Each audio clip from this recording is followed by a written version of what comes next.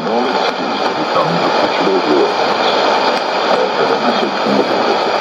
An angel was sent among the nations saying, Gather yourselves together and come against me, and rise up for battle. For behold, I have made you small among the nations, despised among men. As for the terror of you, the arrogance of your heart has deceived you, O you who live in the clefts of the rock, who occupy the height of the hill, where you make your nest as high as an eagle's. I will bring you down from there, declares the Lord. Edom will become an object of horror. Everyone who passes by it will be horrified, and will hiss at all its ruins. Like the overthrow of Sodom and Gomorrah with its neighbors is the Lord. No longer live in nor will the Son of Man reside in it. Behold,